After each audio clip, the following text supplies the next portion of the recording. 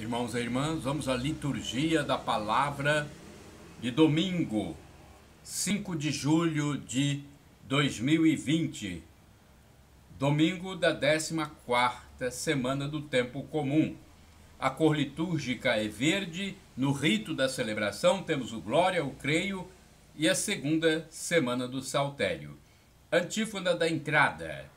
Recebemos, ó Deus, a vossa misericórdia no meio do vosso templo. Vosso louvor se estenda com vosso nome até os confins da terra. Toda justiça se encontra em vossas mãos. Salmo 47, versículo décimo. Oração do dia. Ó Deus, que pela humilhação do vosso Filho reerguestes o mundo decaído, enchei os vossos filhos e filhas de santa alegria e dai aos que libertastes da escravidão do pecado o gozo das alegrias eternas. Por nosso Senhor Jesus Cristo, vosso Filho, na unidade do Espírito Santo. Amém. Primeira leitura, leitura da profecia de Zacarias, capítulo 9, versículos do 9 ao décimo. Assim diz o Senhor: Exulta, cidade de Sião, rejubila, cidade de Jerusalém Eis que vem teu rei ao teu encontro. Ele é justo, ele salva, ele é humilde e vem montado num jumento, um potro, cria de jumenta. Eliminará os carros de Efraim, os cavalos de Jerusalém.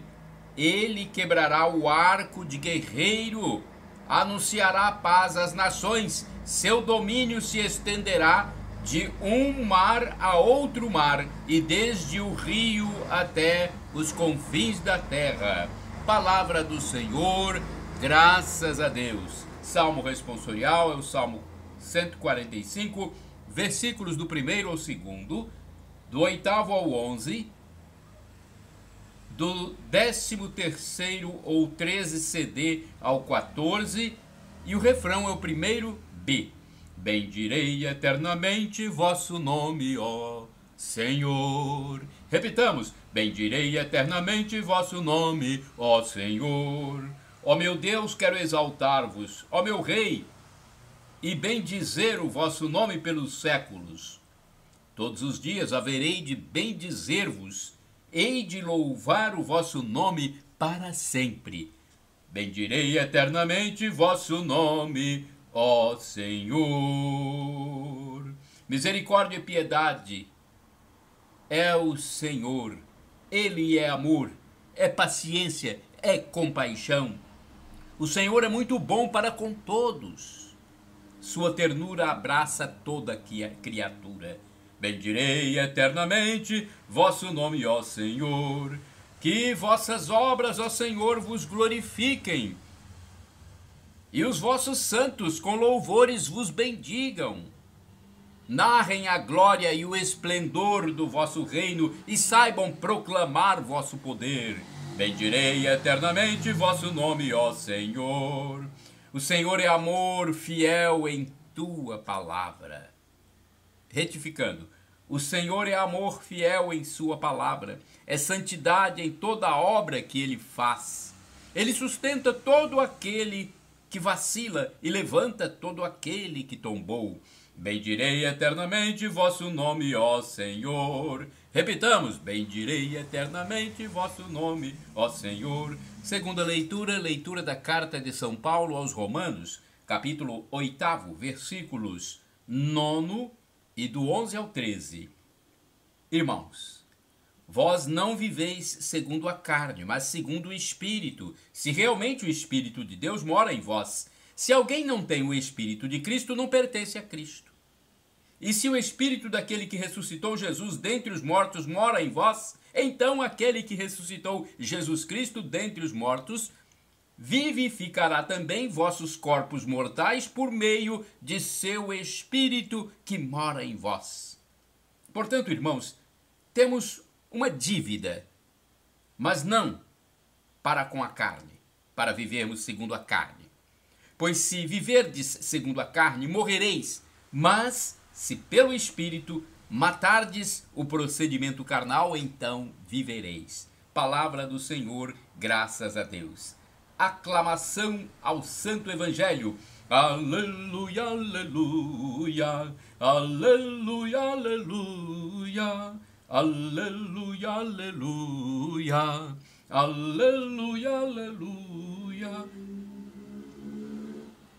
Eu te louvo, ó Pai Santo, Deus do céu, Senhor da terra, os mistérios do teu reino.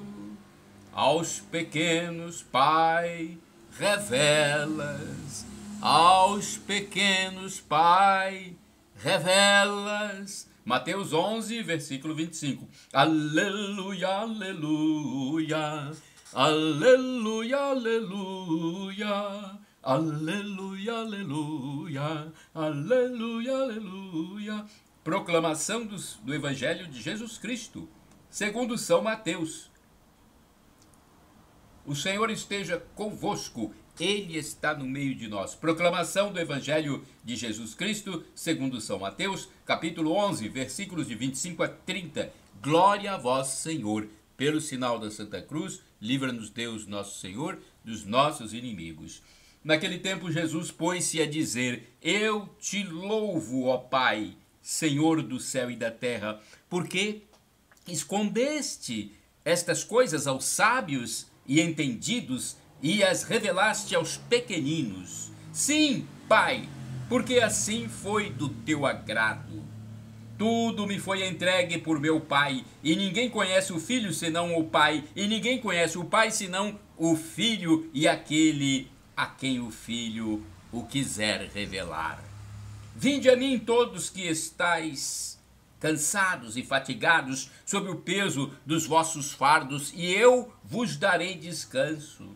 Tomai sobre vós o meu jugo e aprendei de mim, porque sou manso e humilde de coração, e vos encontrareis descanso. E vós encontrareis descanso, pois o meu jugo é suave e o meu fardo é leve palavra da salvação. Glória a vós, Senhor. Liturgia comentada de Antônio Carlos Santini, liderança da comunidade católica Nova Aliança, aos pequeninos, Mateus 11, versículos de 25 a 30. Em apenas seis versículos, três notáveis notícias. A revelação do Pai se dirige aos pequeninos. Ela se realiza unicamente pelo Filho, Jesus Cristo, que a comunica a quem Ele quer ele transmite esta revelação do Pai e do Filho a todos aqueles que sofrem sob o peso do fardo, orientando-os ao seu próprio exemplo. Quem faz este resumo do Evangelho de hoje é o inspirado teólogo Hans Urs von Balthasar, que estende sua reflexão para estas palavras: Tudo provém do Pai Jesus, o revelador, agradece ao Pai, de quem ele recebe o ser.